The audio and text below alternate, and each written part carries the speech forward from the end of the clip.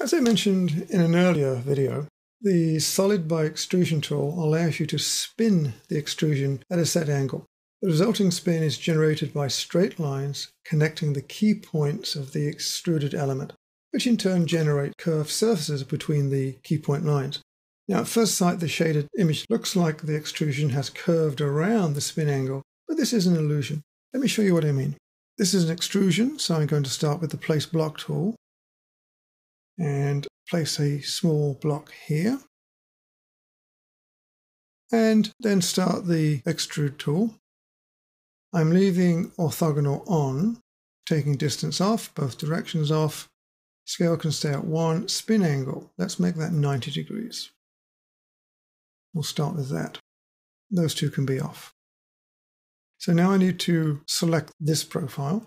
And I need to be careful which point I use to start the extrusion. I'm going to select the center. So I need the center snap. So let's do F11 and C at the keyboard for center. And there's my center. So I'll data point to accept that and drag upwards. And you see that the top surface is twisting 90 degrees. Let's pop it into place. Let's look at it shaded. Let's rotate. And you'll see that the top surface has rotated by 90 degrees and the lines that connect the corners have apparently twisted around. But if you look very carefully, those lines are actually straight and you get the illusion of a curved surface. Now that's interesting, but this doesn't look that great. So let's change how we see this. I'm going to go to the display style list.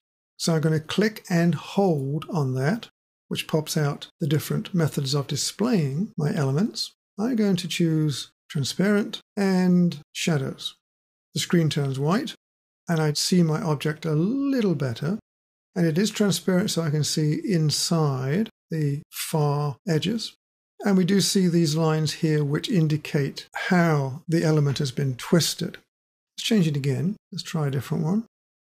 Let's try something like illustration, and we'll just use the default. Illustration adds dark emphasis to the edges of the object. And again, we can see a little clearer how this twisting motion is achieved. Now, I'd like you to practice a little bit with this. I'm going to go back to my original display, which was wireframe.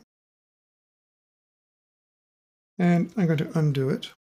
And I want you to practice the same thing this time, select different locations for the start of the extrusion and just see what effects you get. And then you'll realize why I selected the center of that rectangle for the start of the extrusion.